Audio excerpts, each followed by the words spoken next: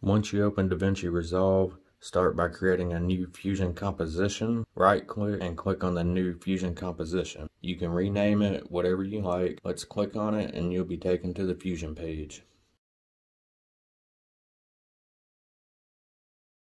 So we have our media out. We need to add our text plus node. From here, you can enter your text I will use Cinematic here. To see your text, you just drag it onto the viewer and the viewer will display it.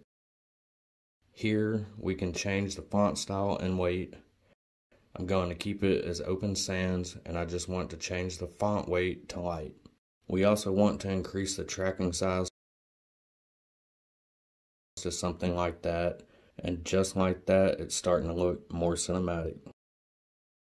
The next step is to add our modifiers. As you can see, the modifiers tab is grayed out, which makes it inaccessible. To make it accessible, we have to right click in this box. Here we have all these different modifiers.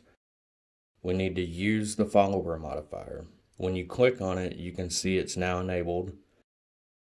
Now we need to change the delay amount. Let's set this to around 2. Type it in 2 and the order.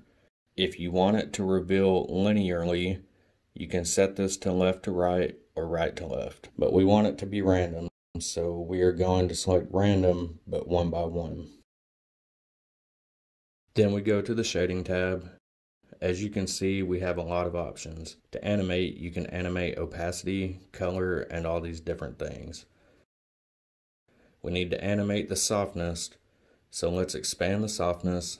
Then we will create a keyframe so make sure your playhead is at the first frame. You can check it over here. It's at the first frame zero. We need to create our keyframe. Let's click on the time and icon to make our keyframe on both X and Y. Here we want the softness at the maximum on both X and Y. Now we will move to the 30th frame and bring it down to zero. Now if you play this, you will have this animation. That's pretty much how to create this simple cinematic title inside of DaVinci Resolve. If you want to use this in your videos, make sure that you connect this text node to the media out. Let's go back to the edit tab and drag in our background.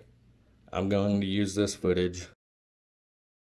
Let's put our fusion composition clip on top of our footage.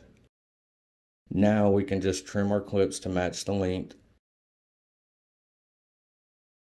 If we go to the very first frame of our clip, you can see the text is already visible and has a blur going on. I don't like this. What you can do is create a simple opacity keyframe. On the right side, you have the opacity is not visible. Make sure your inspector tab is enabled. On the opacity, we will create a keyframe on the first frame. You want the opacity at zero around five to six frames in, we want the opacity at 100. Now it should look way better. All you have to do now is render out the video by going to the Deliver tab.